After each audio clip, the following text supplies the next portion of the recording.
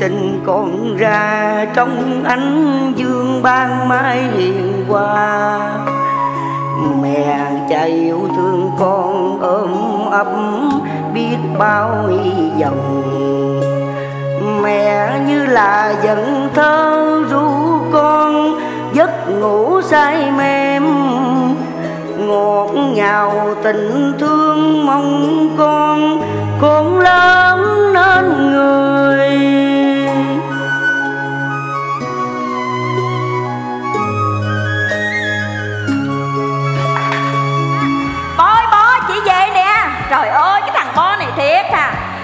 phụ chị coi. Bo, trời ơi, cái thằng, sao chị về mày không mừng gì hết trơn vậy? Ngồi xuống đi, ngồi xuống đây nè.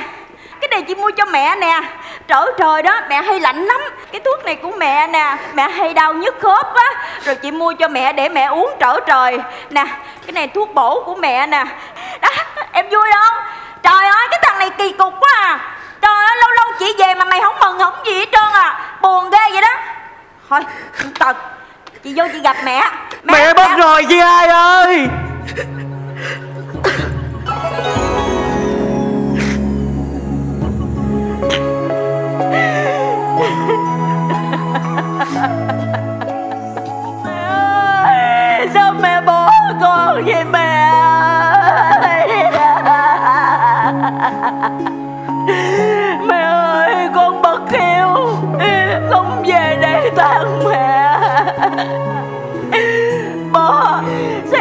em tàn nhẫn quá vậy bố bố ơi là bố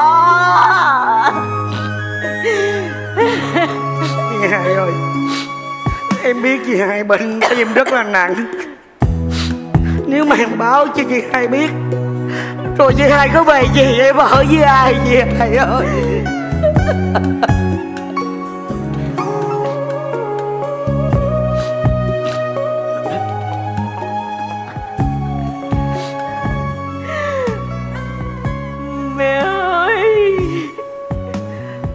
Ơi về đây sau bao năm dài xa xưa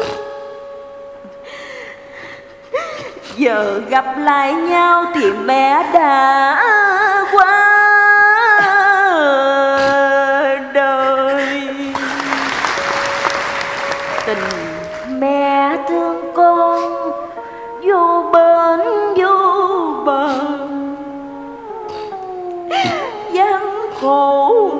nồng mẹ lo lắng cho con.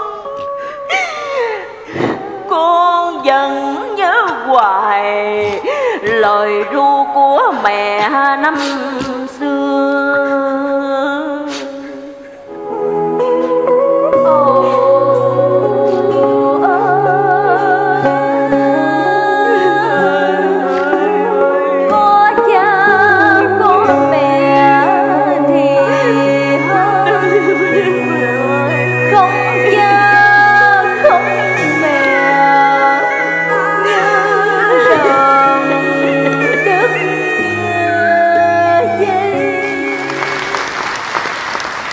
Xin mời ý kiến từ các vị giám khảo. Xin mời anh Hoài Linh. về cái phần ờ, của bo diễn thì anh thấy là em cũng tạo rất là nhiều cảm xúc nhưng mà cái câu giọng cổ của giang thì ờ, tôi thấy nó cũng có cái gì đó lạ lạ tức là em không dùng cái cái cái dạ cái em cái đó là cổ. tự bộc phát Đúng em rồi. mà em chỉ nói theo những cái tâm trạng em nhớ mẹ thôi chứ em không có hát bởi vì tất cả chúng mình khi mà nghe nói tới mẹ thì ai cũng đau lòng ai cũng bồi hồi và cái tiết mục này chúng tôi nghĩ rằng các bạn đã kính dâng lên những người mẹ trên thế giới này những người suốt đời hy sinh cho con hy sinh cho chồng mà quên nghĩ tới bản thân. Tôi thích cái ờ, cái sự chân thật của anh anh Bo. À, anh hát cũng rất là truyền cảm. À, phần chị Giang thì là lúc mà chị hát xong chị buông ra thì tôi xém tí nữa tôi lại nhìn qua ban ban nhạc. Tôi nghĩ chắc là họ bị trục trặc gì đấy. Nhưng mà ngay tức khắc thì tôi tôi tôi nghĩ đấy là chị cố ý như vậy. Bởi vì đôi lúc trong cuộc sống không phải cái gì nó cũng rõ rõ ràng ràng ra thì nó là là hay mà một xí lấp lửng thì nó lại có chiều sâu hơn làm cho tôi cảm thấy rất là nhói lòng. Tôi thích cách diễn đó. Và một cái nữa mà cũng là cái điểm nhấn ở trong cái này khi mà bo nói là mẹ mất rồi em dừng lại em Dạ. dừng lại để em lắng lại một chút xíu thì em mới quay qua. À, thì cái đó coi nó đã hơn. Dạ Cặp đôi của chị Lê Giang và anh Tấn Bo. Nghệ sĩ ưu tú Hoài Linh dành cho anh chị 9,5 điểm. Nghệ sĩ nhân dân Bạch Tuyết 9,5 điểm. Ca sĩ Quang Linh 9,5 điểm. Tổng điểm 28,5.